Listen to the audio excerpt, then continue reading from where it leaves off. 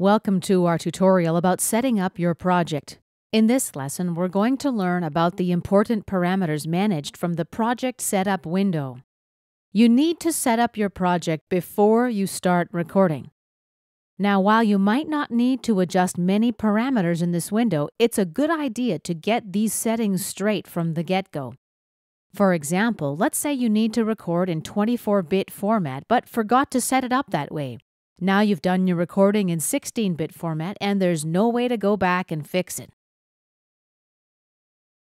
To access the Project Setup window, go to Projects on the main Cubase menu strip and select Project Setup. You can also use the keyboard shortcut Shift S.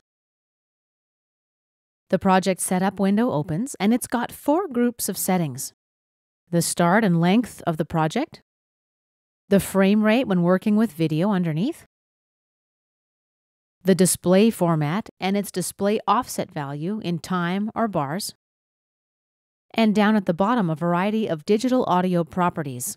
In this lesson, we'll learn what each of these options mean. Let's leave the Start field at its default setting unless you need the project to start at a different time location. If that's the case, enter the appropriate value in hours, minutes, seconds, and frames.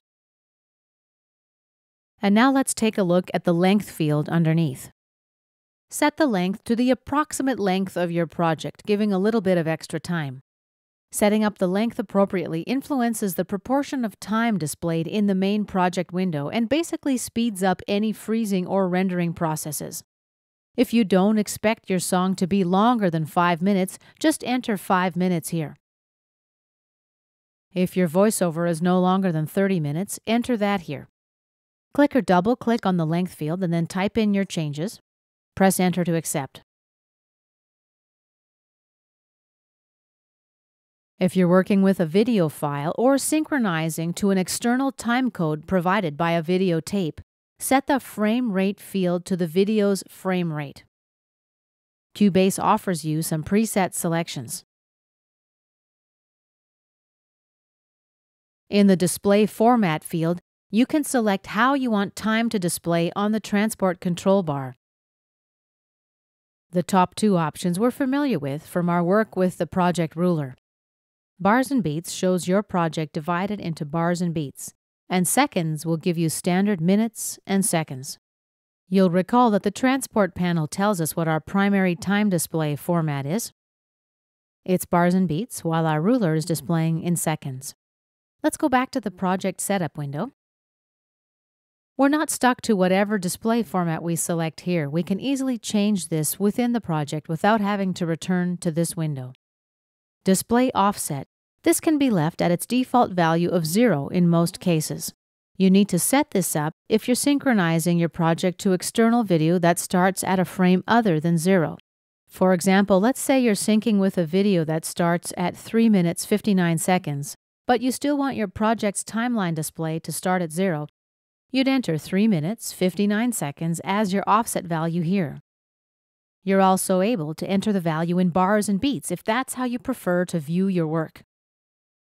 In the last control area, we set the sample rate, record format, file type, and pan law. Let's talk about the sample rate first. Standard CD quality sample rate is 44.1 kHz per second. There are many occasions when you'd need more than this. For example, let's say you're doing a soundtrack for a DVD format. Once you've set a sample rate, you won't be able to change it later because all sounds have to be at this sample rate. So be sure to make your settings before you do any recordings. In the Record Format field, we set the appropriate bit depth for the recording. Cubase 5 supports 16, 24, and 32 floating point bit depths. You can select any resolution supported by your audio hardware. CD quality is 16 bit, but you may want to record at a 24 bit depth to give you some more headroom while you're mixing and mastering. The larger the bit depth, the larger your files, so keep that in mind too.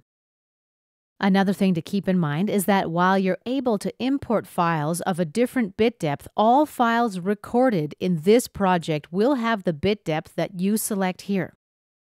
For more information about how the sample rate works and the bit depth, please see my course on recording, mixing, and mastering audio, where I cover this in great technical detail. The Record File Type drop down menu. This gives us a few choices. Let me just quickly explain what they are. A regular WAV file is what you hear on a CD. A broadcast wave is just like a standard WAV file, except that it embeds text strings in the audio files, such as your name and audio time stamping. By using this file type, you don't have to enter this information later on because it's done automatically for you. AIFF stands for Audio Interchange File Format, and that's a Macintosh native format. Wave64, that's a proprietary Sony file format that supports files larger than 2 gigabytes. This type of file is better suited, for example, to live concert recordings in surround sound format, whose file sizes can get pretty big. Be warned that many CD players only play regular WAV files, so you may want to stick with this. Stereo Pan Law. This pop up menu allows you to select one of four pan modes and this is all related to the fact that without compensation, the power of the sum of the left and right side is higher or louder if a channel is panned to the center than if it's panned to the left or right. And that's what happens if you select 0 decibels from this menu. If you've got two similar signals panned to the center, like two vocals, what's going to happen is that they'll sound doubly loud. To fix this, you have pan laws. They can lower signals pan to the center by a certain decibel level that you specify. Minus 6, minus 3 decibels. If you choose the 0 decibel option, you turn off the constant power panning. If you select equal power, that's what's selected by default, the power of the signal remains the same regardless of the pan setting. You may want to experiment to see which fits better in a given situation. If this seems confusing, just leave this at equal power. And when you're done making your changes, click OK. The Project Setup dialog window closes. And this concludes our lesson on how to set up your project.